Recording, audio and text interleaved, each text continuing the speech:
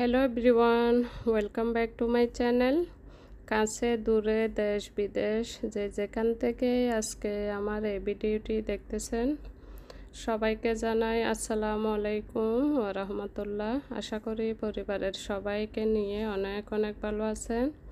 আলহামদুলিল্লাহ, আমরাও আল্লাহর রহমতে আপনাদের দোয়ার ভালোবাসায় অনেক ভালো আছি। প্রতিদিনের মতো আজকেও চলে আসলাম নতুন আরও একটি পিটি নিয়ে। তবে আজকে আজকে আমি রেসিপি নিয়ে আসলাম আপনাদের জন্য। অনেকে আমার এই শিক্ষা ভাব খেয়ে অনেক প্রশংসা করল, তাই রেসিপিটি আপনাদের সাথে শেয়ার করলাম। আজকের রেসিপি হচ্ছে চিকেনের শিক্ষা ভাব। এখানে আমি চিকেন ব্রেস্ট নিয়ে নিলাম। আর এখন আমি এগুলাকে একটু ছোটো ছোটো টুকরো করে নিয়ে নিব, যাতে আমি সুন্দর একটা ফেস্ট তৈরি করে নিতে পারি। আপনারা দেখতে থাকুন আমি কীভাবে আজকের শিক্ষা ভাবটি তৈরি করি। আসলে শিক্ষা ভাব খেতে কিন্তু খুবই মজা, চিকেনের শিক্ষা ভাব আর বাচ্চাদের খুবই খুবই পছন্দের একটি খাবার। আশা করি আজকের রেসিপিটি আপনাদের সবার কাছে ভালো লাগবে। এই তো আমি এই সাইজ করে নিলাম। যদিও আমি অনেকগুলাই তৈরি করব, আপনাদের সাথে একটু করে শেয়ার করলাম আমি।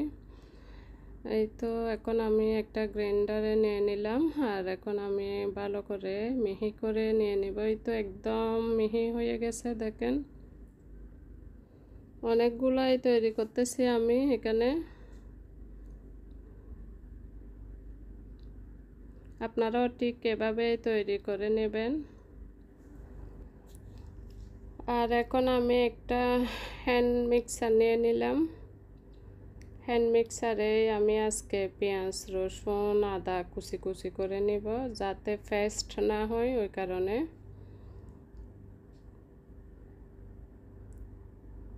তো এরকম গ্রাইন্ডার না থাকলে আপনারা ছুরি দিয়েও কিন্তু কুচি কুচি করে নিতে পারেন। এখন দিয়ে দিলাম ক্যাপসিকাম।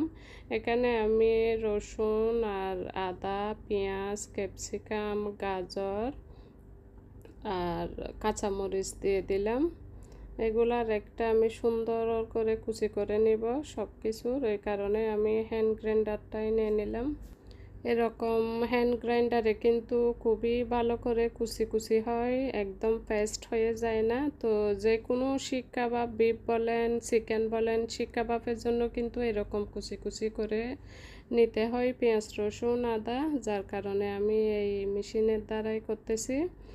তো দেখতে পাচ্তেছেন, পুশ করলে কিন্তু সবগুলা অনেক সুন্দর করে কুচি কুচি হয়ে যায়।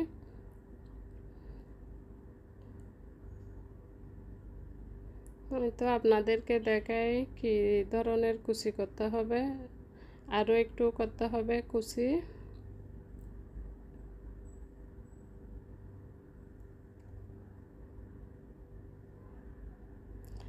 আশা করি আজকের রেসিপিটি আপনাদের সবার কাছে ভালো লাগবে। আর ভালো লাগলে লাইক দিতে ভুলবেন না। লাইক দিয়ে আপনারা দেখা শুরু করবেন। আরও একটু করে নেব আমি কুচি কুচি। এখনও একটু মোটা মোটা হয়ে আছে। দেখাই আপনাদের। আরও একটু করে নেব আমি। আর পেস্ট করে নিলে হয় কি, পানি বের হয়ে যায়। তো ওই কারণে এরকম কুচি করে নিতে হয় যে কোনো শিক্ষা বাপের জন্য। তো আপনারা ঠিক এরকম করেই তৈরি করে নেবেন। এই তো হয়ে গেছে কুচি কুচি করে নেওয়া। তো এখন আমি সবগুলা মিক্স করে দিব। তো আমি এখন চিকেনের পেস্টের মধ্যে সবগুলা পেঁয়াজ কুচি দিয়ে দিব। পেঁয়াজ, রসুন, আদা, ক্যাপসিকাম, গাজর। গাজরটা দিলে আসলে দেখতে কালারটা খুবই ভালো লাগে। আর এখন দিয়ে দিচ্ছি আমি পরিমাণ মতো জিরা গুঁড়া।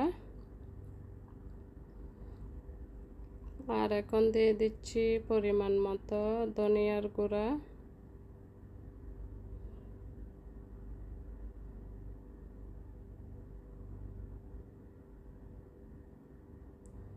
আর এখন দিয়ে দিচ্ছি পরিমাণ মতো হলুদ গুঁড়া। মশলার গুঁড়াটা আসলে চিকেনের উপরে নির্ভর, তো যতটুকু চিকেন ততটুকু কিন্তু মশলার পরিমাণটা দিতে হবে। আর এখন দিয়ে দিলাম পরিমাণ মতো গরম মশলার গুঁড়া। আর এখন দিয়ে দিলাম লাল মরিচের গুঁড়া।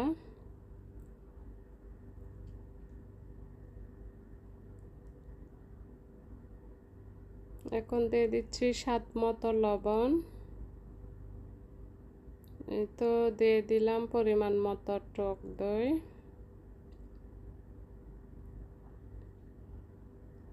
আর দিয়ে দিচ্ছি স্লিপলেক্স।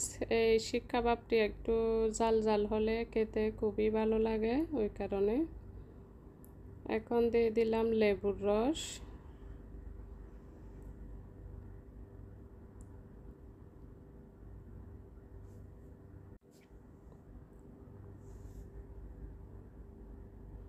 আমি একটা চামচ দিয়ে সব কিছু ভালো করে মিক্স করে নিব। আমি একটু তেলও দিব এখানে। তো মাঝখানে আমি তেলটা দিয়ে দিব। খুবই অল্প পরিমাণে দিচ্ছি আমি তেলে তো দিয়ে দিলাম। আর আপনারা চাইলে হাত দিয়েও কিন্তু মিক্স করে নিতে পারেন। মিক্সটা কিন্তু একটু সময় নিয়ে করবেন। যেহেতু সবগুলা মশলার গুঁড়া যেহেতু কাঁচা দিলাম, আর সে কারণে মিক্সটা খুবই সময় নিয়ে ভালোভাবে করবেন আপনারা। অনেক সময় নিয়ে কিন্তু আমি মিক্স করে নিলাম, যেহেতু চামচ দিয়ে করলাম ওই কারণে। সময়টা একটু বেশি লাগল আমার মিক্স করতে। আপনারা চাইলে হাত দিয়ে করে নেবেন। আর আমি এখন দুই ঘণ্টার জন্য রেস্টে রেখে দিব। আমি কোনো ফ্রিজে রাখব না, আমি এমনি নর্মাল তাপমাত্রায় রাখব। এই তো দুই ঘণ্টা পর, আসলে আমি অনেকগুলা তৈরি করে নিলাম, যেহেতু গেস্ট আসবে ওই কারণে। প্রথমে কিন্তু একটা শিক নিয়ে শিকে একটু তেল লাগিয়ে নেবেন। আর হাতে একটু পানি লাগানোর পর কিমা নিয়ে আপনারা শিকের সাথে এভাবে লাগিয়ে নেবেন। কত ইজিলি যে লাগানো যায়। আসলে পানি না দিলে কিন্তু আসলে লাগানোটা খুব একটা ইজি না।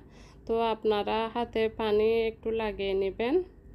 আর দেখতে পারতেছেন, অনেকগুলা অলরেডি আমি ফ্রাই করে নিচ্ছি। আপনাদের দেখানোর জন্য একটা শেয়ার করলাম। আমি কীভাবে শিকের সাথে কিমাগুলা লাগিয়ে নিই। তো এক এক করে আমি অনেকগুলাই তৈরি করতেছি। পাশের চোলা তো কিন্তু ফ্রাই প্যানে অনেকগুলা হয়ে যাচ্ছে অলরেডি তো এভাবে আমি আবার সেম শিক দিয়ে কিন্তু নেড়ে ছেড়ে দিই। আপনারাও ঠিক এভাবে তৈরি করে খাবেন পরিবারের সবাইকে নিয়ে। আর কমেন্টে জানাবেন আজকের শিক কাবাবের রেসিপিটি আপনাদের কেমন লাগল? আর ভালো লাগলে অবশ্যই একটি লাইক দিবেন, সবার সাথে শেয়ার করবেন। আর ফ্যামিলির সবাইকে নিয়ে খাবেন। আশা করি ফ্যামিলির সবাই অনেক অনেক পছন্দ করবে। যতটা আসলে কঠিন লাগে শিক কাবাব তৈরি করা, আসলে ততটা কঠিন না। খুবই ইজিলি আপনারা তৈরি করে নিতে পারেন আমার আজকের রেসিপি ফলো করে। তো আজকের রেসিপিটি এ পর্যন্ত। সবাই সুস্থ থাকবেন, ভালো থাকবেন আর আমার ফ্যামিলির জন্য দোয়া করবেন। নেক্সট ভিডিও দেখার আমন্ত্রণ দিয়ে এখান থেকে বিদায় নিলাম। আল্লাহ হাফেজ।